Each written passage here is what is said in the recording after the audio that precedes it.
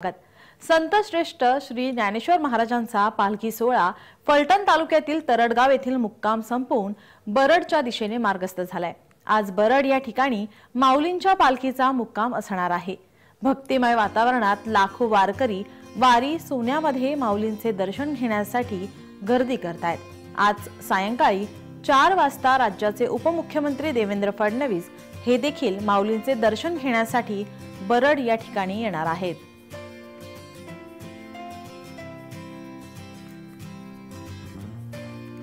संतश्रेष्ठ श्री ज्ञानेश्वर महाराजांचा पालखी सोहळा फलटण तालुक्यातील तरडगाव येथील मुक्काम संपवून बरडच्या दिशेने मार्गस्थ झालाय. बरड या ठिकाणी माऊलीच्या पालखीचा मुक्काम असणार आहे. भक्तिमय वातावरणात लाखो वारकरी दर्शन घेण्यासाठी गर्दी करतायत. सायंकाळी चार वाजता राज्याचे उपमुख्यमंत्री देवेंद्र फडणवीस हे देखील माऊलीचे दर्शन घेण्यासाठी बरड या ठिकाणी येणार आहेत.